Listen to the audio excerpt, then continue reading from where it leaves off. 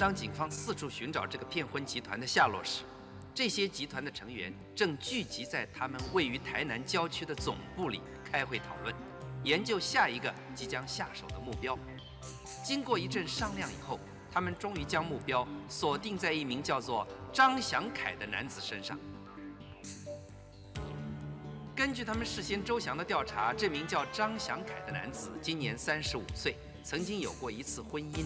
两年前，前妻吴小曼因车祸丧生，留下一名六岁的女儿雅雅。由于张家家财万贯，张祥凯又是独子，两年来，张母为了能抱孙子，一直积极的四处替儿子物色门当户对的媳妇，好为张家生一个孙子传宗接代。首先，阿金便是想办法接近张母。他打听出张母每逢初一十五都要到庙里上香的习惯，于是这天他算准了日子，也提着生礼来到了同一家庙，等待张母的出现。终于，他看见张母了。等张母虔诚的焚香祝祷、祭拜完以后，阿金立刻上前跟张母搭讪。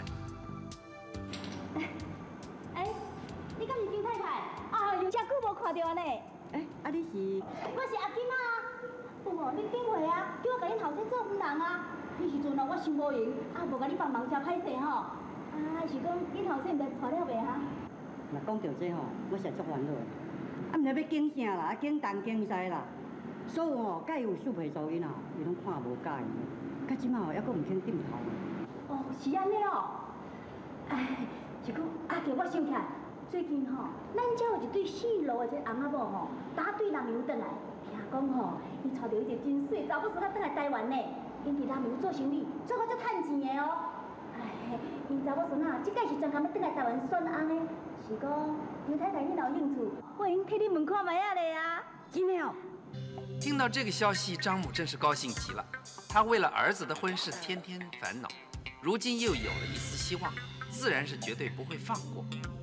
他向阿金千拜托万拜托，而阿金的心里头也非常高兴。果然不出他所料，轻而易举就让张母落入他的瓮中。相亲的日子到了，静芬穿着一身租来的美丽华服，戴上珠宝首饰，打扮得漂漂亮亮，要上场演出从南洋回来的富家千金。而阿慧扮演静芬的姑姑，阿光扮演姑丈，阿亮则扮演司机。等一切就绪，正准备出发前，阿金突然慌慌张张地跑出来，手里还拿着一瓶像是香水的东西，往静芬的耳后轻轻地抹了几下，一股让人目眩神迷的香味儿立刻随着静芬的体温慢慢散发开来。只见在场的阿光和阿亮两个男人脸上马上露出一副陶醉的神情。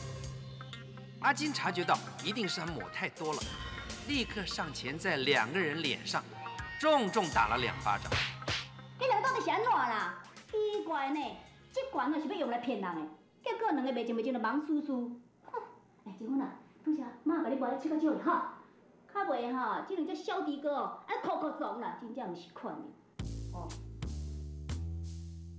这就是这个骗婚集团的神秘武器。只是这里面究竟是什么东西呢？是类似金光党所使用的迷药，还是让男性沉迷的催情剂呢？而这种神秘香水又是从哪里得来的呢？等阿金一伙人到达约定的餐厅时，张母和小凯也已经坐在那儿等着了。双方是第一次见面，所以免不了一阵寒暄介绍。可是当阿金为小凯和化名淑芬的静芬介绍时，小凯的脸上却是一丝笑容也没有，因为他今天是在母亲半哄半骗之下带来的。一直到这个时候，他才知道这原来又是母亲为他安排的相亲，心里实在很不高兴。只是在阿金的招呼下，大家还是礼貌地开始聊天吃饭起来。用餐之间，小凯依旧只顾低着头吃饭，没说上两句话。为了打开小凯和静芬之间的僵局，也为了让小凯能对静芬产生兴趣，阿金决定要让小凯和静芬能有近距离的接触。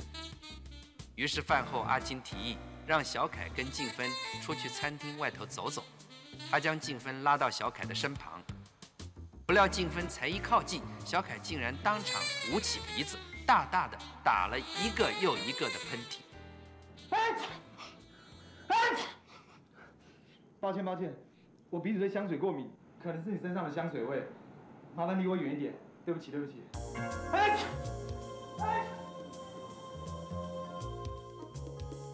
原以为借着神秘迷魂水的力量可以让小凯很快上钩的，没想到竟然是这种结局，而且也因为小凯的过敏发作，所以这一晚的相亲便草草提前结束。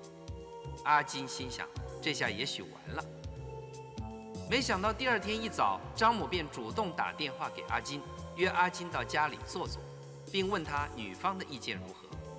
阿金喜出望外，强按住心头的喜悦。张母再一次叮嘱阿金为他好好牵成这件亲事，还为了让阿金更卖力，张母还向阿金保证说，一旦这件亲事说定，他会包一百万的媒人礼金送给他，还答应阿金，只要对方有办法让小凯点头愿意结婚，他们张家愿意付一千万的聘金，还外带一栋价值五千万的别墅。阿金这一听，简直不敢相信自己的耳朵。他想都没想到，这只肥羊竟然这么肥。当初为了扮演有钱人家，摆出有钱人的派头，阿金他们还特地花下巨资，以一个月十万块的高价，在郊区租下一栋附带有家具的别墅，让静芬和阿亮、阿慧他们居住。到时也不怕张家来打听而穿帮。所以阿金离开张家以后，马上兴冲冲的。赶到别墅，把刚才从张母那儿听到的好消息告诉大家。众人一听，不禁个个睁大了眼，高兴地欢呼起来。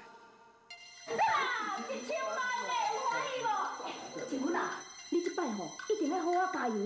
哎，这款若赚了哦，咱大家就快活了，第一对，啊，不过迄白粉水对也无啥物作用。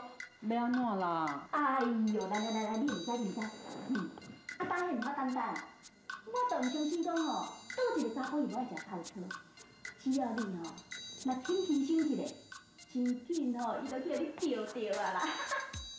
妈，搁要叫我牺牲哦？你是毋是头壳歹去啊？啊，但你即摆是咧讲啥啦？啊，你也毋是头一摆呢，为了大家牺牲一摆，有啥物要紧啊？哎，夫恁母啊，我啊。以前咧拐坏老蚵仔，我感觉嘛是牺牲，我都无感觉安怎。哼，迄只无共呢，迄是你家己介意，将迄种代志当作是你的兴趣。我甲你无共，我对迄种代志根本就无兴趣嘛。说起这件事，静芬心里就有气。从小到大，她就跟随着母亲天南地北的到处做生意，好不容易熬到亭亭玉立了，在母亲的诱导下。也跟着下海了，而且女孩子宝贵的贞操也在这段时间糊里糊涂给葬送掉。想起这些，静芬心底就对母亲有一丝怨恨，似乎为了满足她个人的贪婪，就完全不顾自己亲生女儿的幸福了。可是转念想想，母亲一辈子也丝毫无幸福可言。从她懂事以来，她就不知道自己的爸爸是谁。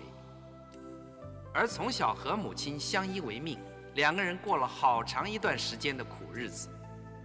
母亲一个女人家，为了养活自己，吃尽了不少苦头。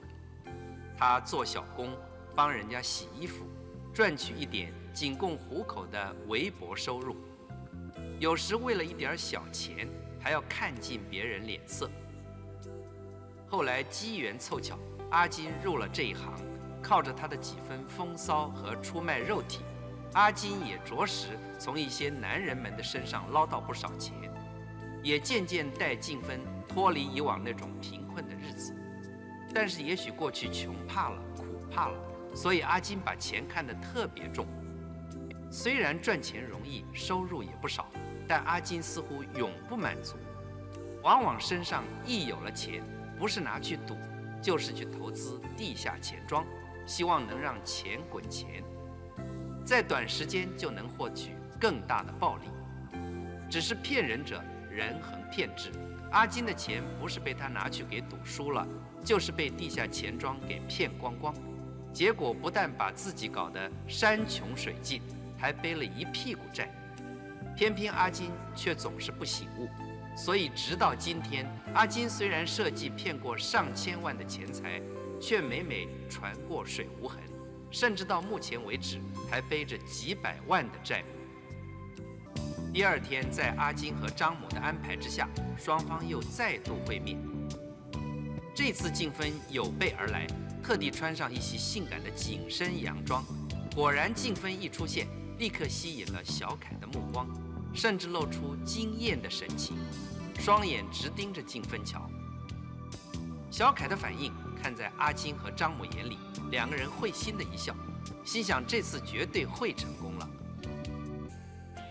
小凯开着车带着静芬来到了清静的河滨公园，两个人下了车，只见明月皎洁和身后那一片灯海相映争辉，果真是情侣谈心的好去处。为了让目的快点达成，静芬开始慢慢的把身体往小凯的身上靠。静芬可以感觉到，因为自己的接近，小凯的体温开始升高了。甚至身体也紧张的微微颤抖起来。静芬知道是时机了，又赶紧伸出她柔嫩的手掌去握住小凯的大手，并顺势将整个人靠到小凯身上。这下子小凯的身体抖得更厉害了。静芬心想，接下来小凯一定会紧紧地抱住自己，那一切就会自自然然发生了。可是没想到，就在这个时候，静芬却好巧不巧地打了一个大喷嚏。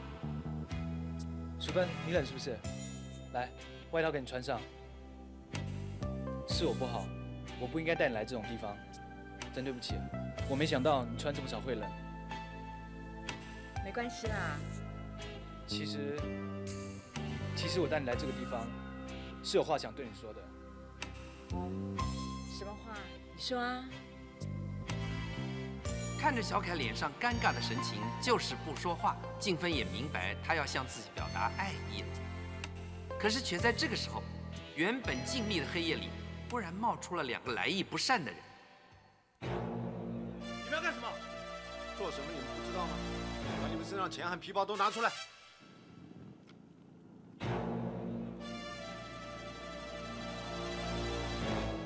提款密码几号？是不是我坦白跟你说？你们就愿意放我们走？啰嗦，快点报上来！一二三四，前面有个空，跟我走。走啊！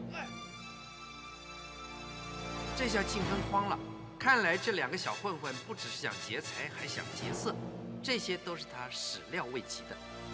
可是，在这两个坏蛋的威逼下，他们又能怎么办呢？一会儿空屋到了，一个混混打开门。狠狠地将他们推了进去，另一个混混则顺手开亮了电灯。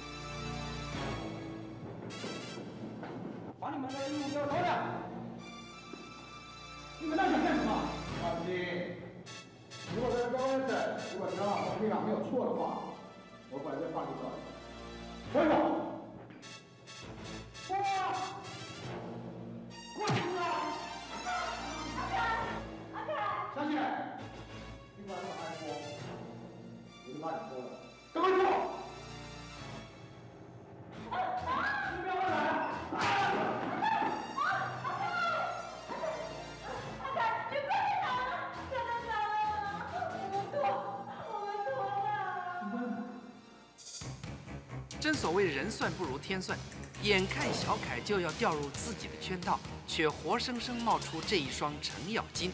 面对这两个凶神恶煞，静芬的处境显然是凶多吉少了。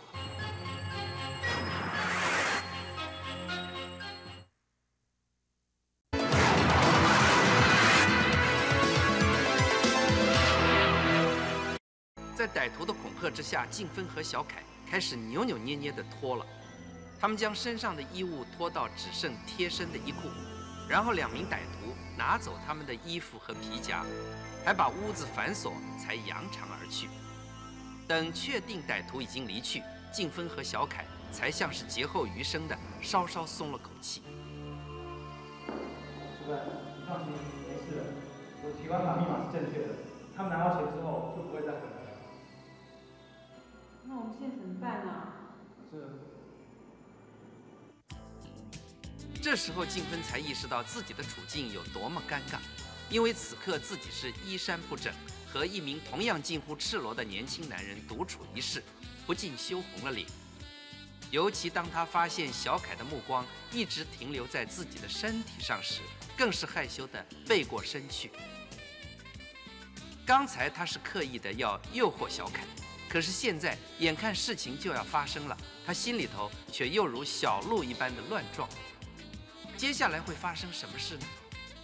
静芬早先预设的计谋会不会因为两名抢匪阴错阳差的促成，更加顺利的发生呢？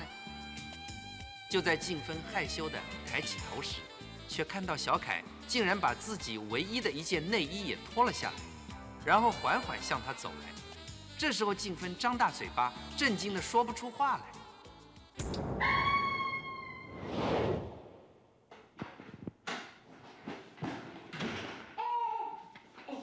你即马才回来，昨暝定真顺利吼。那有啥物顺利啦？哎哟，啊，敢讲规个暗，伊拢无对你写款哦。本来是足顺利的啦，唉，煞毋知影，毋知倒位走来两个青仔丛来甲阮抢劫啦。对对对对对，啊尾啊吼，伊是毋是将恁两个拖去一间空厝内底，然后将恁的衫裤囥光光，尾啊恁孤男寡女连斗阵啊，有够精彩吼！妈，你哎哟，你想要知影讲吼，我要哪会知吼？哈，这吼一切拢是恁做嘛，一手设计，有赞无？妈，你哪会使做这种代志啦？哎哟，到底是安怎，你是惊啥啦？静芬怎么也不敢相信，昨天遇上歹徒行抢的可怕遭遇，竟然是自己母亲一手安排的。这真是让静芬气得说不出话来。无啦，无，咩有可能无？啊无就是无，你问我是问啥啊？这，这边哪有可能啊？不止阿金无法相信，甚至连静芬自己也难以相信，昨天晚上小凯和他竟然会连一点事情都没发生。小凯到底怎么了？美色当前居然不为所动，他是同性恋还是柳下惠呢？或是另有其他原因呢？昨天晚上，当小凯脱下身上的内衣往他走过来时，静芬真是害怕极了，以为小凯就要侵犯自己。不禁害怕的大声尖叫了起来。你不要误会了，这件内衣给你遮一下，我不会对你怎么样的。哦，谢谢。静芬接过小凯手中的内衣，心里真有一股说不出的感动。她好奇小凯究竟是怎么样一个人，为何跟她以前所认识的那些男人都不一样呢？从小，妈妈常灌输她“男人不是好东西”的观点。等静芬长大了，经历了一些男人，果然印证妈妈所说的：男人外表不管如何老实，最后贪图的还是他的肉体。所以，走过那么多的人生，静芬看多了，她认定这辈子再也不会对任何男人付出感情了。可是小凯这时候的举动，加上刚才奋不顾身护卫自己的行为，深深触动静芬的心弦了。放心，我们现在这个样子也没办法出去求救。等天亮，我就下山去找救兵。好，只是我们真是倒霉，竟然会发生这种事情。没关系，你不觉得这也是一个男人的经验吗？就这样，静芬和小凯愉悦地聊了起来，在谈笑声中渐渐地化解彼此间的尴尬，而两个人也在漫漫长夜中逐渐地了解对方。聊天当中，小凯告诉静芬许多有趣的事情，让静芬觉得小凯不仅相当体贴，也十分幽默风趣。而小凯也感觉出静芬美丽的外表下有着一股超乎她年龄的成熟和智慧。当天快亮时，静芬突然想起，在那两名歹徒出现前，小凯似乎是要对她吐露爱意的。静芬满心盼望地问起：“小凯却苦笑了一下。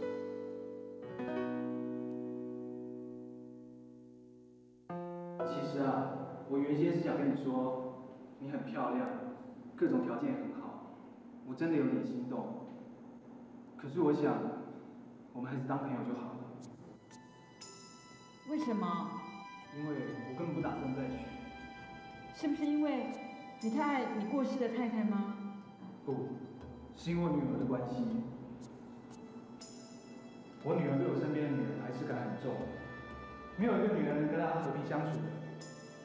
所以我想，与其娶一个老婆来造成困扰，倒不如单身和我女儿过日子就好了。